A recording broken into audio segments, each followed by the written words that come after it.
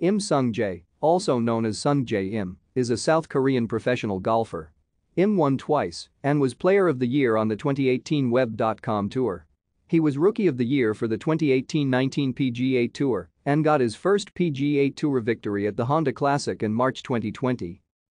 Im turned professional in 2015. In 2016 and 2017 he played on the Japan Golf Tour, his best finish being joint runner-up in the 2017 Mynavi ABC Championship. In 2017 he finished 12th in the Tour Money list and 5th in the scoring average.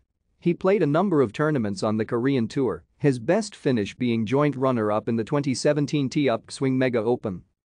In December 2017, Im finished second in the Web.com Tour Q School, including a third round of 60.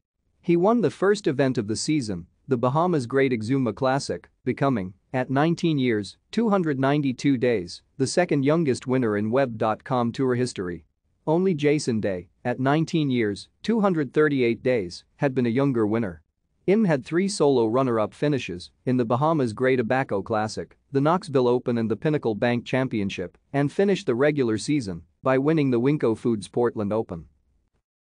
Thank you for watching.